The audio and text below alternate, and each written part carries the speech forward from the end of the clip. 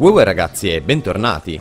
Come voi tutti ben saprete, con la patch 10.10 sono state introdotte le SMG, ovvero la categoria di SMG, in quanto le SMG erano già su Salva al Mondo e anche su Battle Royale, ma non esisteva una vera e propria categoria e diciamo che ciò su Salva al Mondo non limitava tanto, anzi era molto meno confusionale rispetto a quello che è adesso, ovvero prima le SMG funzionavano o come pistole o come assalti e quindi potevamo buffarli o come pistole o come assalti.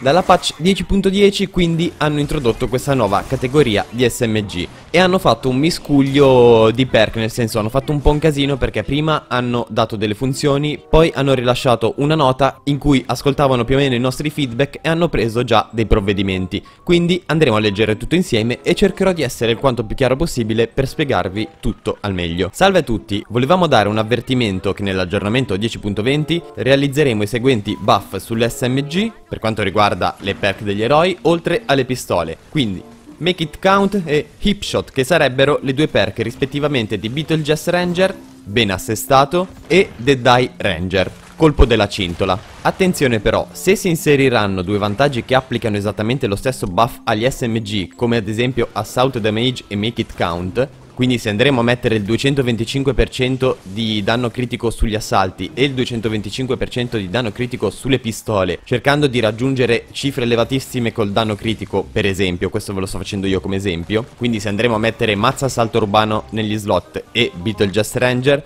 il buff si applicherà a tutti e tre tipi di armi, sì, ma gli effetti non saranno raddoppiati sugli SMG, quindi avremo semplicemente un buff normalissimo, quindi fate bene attenzione a questo. Inoltre stiamo attualmente esaminando un problema in cui gli aumenti di Montespago potrebbero non funzionare correttamente, grazie a tutti coloro che hanno fornito feedback e sensibilizzato a questo problema. Quindi finalmente un'altra volta ci fanno sapere che è un errore loro, le ricompense di Montespago sono attualmente sbagliate in zona endgame perché appunto se facciamo una missione all'88 o la facciamo al 140 riceviamo più o meno la stessa ricompensa. E questo è ridicolo a parer mio raga. Nel 2020 veramente dovete mettere le ricompense adeguate al livello di potenza se no la gente non ci gioca a livelli di potenza più alta è inutile. È inutile ci saranno lobby vuote perennemente vuote quindi sbrigatevi a fare questo cambiamento epic che lo vogliamo veramente tutti quanti.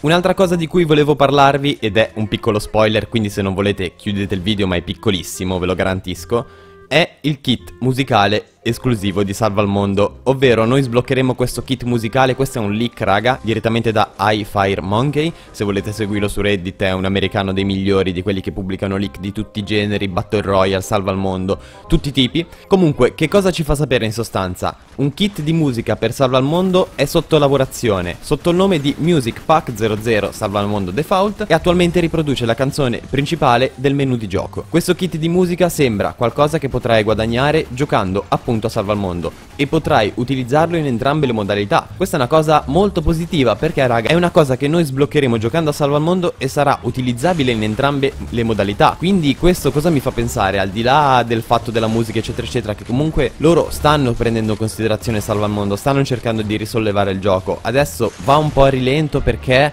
non ve lo so dire, ci investono poche risorse, ci investono quello che vogliamo. Io non spetta a me giudicare, raga, purtroppo non so neanche come funzionino sotto lavorazione queste cose, però sono molto contento di questo, sono molto contento anche di altre cose. Magis ha detto che la stagione 11, ok, ci ha rimandato ancora di una stagione Però ha detto che ci riserverà delle grossissime sorprese raga Una cosa che secondo me eh, appunto limita molto Salva al Mondo E mi dà anche particolarmente fastidio È il fatto che loro siano tra virgolette obbligati a buttare fuori patch in contemporanea con quelle di Battle Royale e se per esempio noi abbiamo bisogno di una patch d'urgenza non ce la fanno per non farla fare a tutti quelli che giocano a Battle Royale. Se la patch è correggibile senza dover scaricare qualcosa nel gioco allora le misure le prendono subito. Ma per esempio se c'è da fare una patch di emergenza in cui c'è da scaricare qualcosa ci pensano non una, non due, ci pensano dieci volte prima di farla scaricare anche agli altri utenti.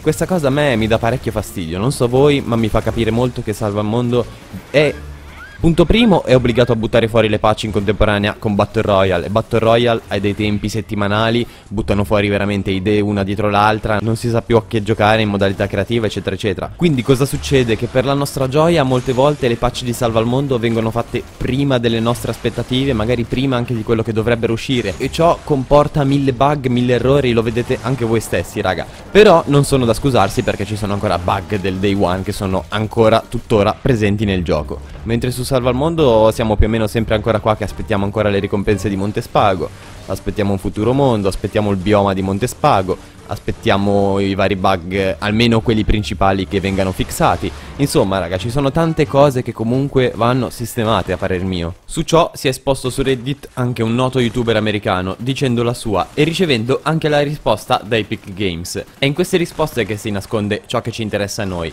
Attualmente sta lavorando a un vlog come lo era stato per il set di eroi che ci faceva vedere un po' di highlights, ci spiegava un po' com'era il nuovo set di eroi, come sarebbe stato. Ok, adesso lo abbiamo avuto, avremo un prossimo vlog che ci farà vedere qualcosa per le prossime season. Perché attenzione, leggete la risposta 4 Stiamo costruendo qualcosa che ai players dell'endgame sicuramente piacerà. Credetemi quando dico che questa è tosta. Non sarà lanciata nella stagione 10, quindi non aspettatevelo nella stagione 10 perché c'è ancora un sacco di lavoro da fare. Bene raga, finalmente abbiamo qualche spoiler. Io sono sempre curioso, sono uno veramente veramente curioso Anche perché poi quando mi fisso con un gioco ci nerdo particolarmente E quando continuano ad aggiungere cose, fare cose come in questo caso come lo è su Salva al Mondo Mi piace veramente tantissimo. Apprezzo l'impegno che ci stanno mettendo Certo ci sono delle cose comunque che andrebbero sistemate Però non possiamo lamentarci per i 20-40 euro che abbiamo speso per questo gioco. Io sono molto contento che comunque sia ancora in fase di sviluppo E continuerà a svilupparsi raga. Continuiamo a grindare per questo periodo le missioni Farmiamo, mettiamoci da parte le risorse Perché presto Salva Mondo molto probabilmente cambierà totalmente.